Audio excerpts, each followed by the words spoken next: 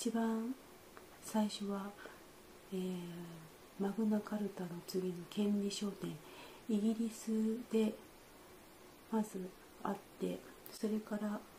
えー、アメリカ独立戦争フランス革命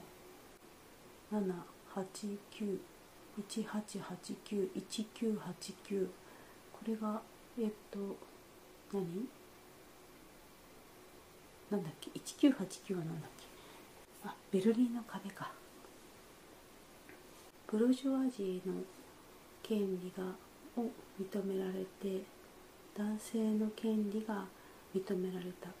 その時は女性の権利っていうのはまだ認められてなかったわけですけれども黒人の権利が認められた。それで実はま女性の参政権ってまだ歴史的に100年ぐらいだったと思いますけども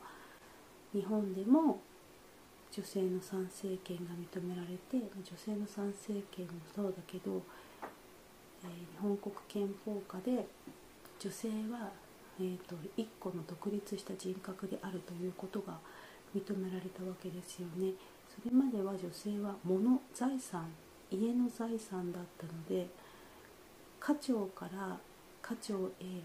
まあ譲られるものだったわけです。で私それを知った時に私は本当戦後生まれでよかったなって思ったんですけど。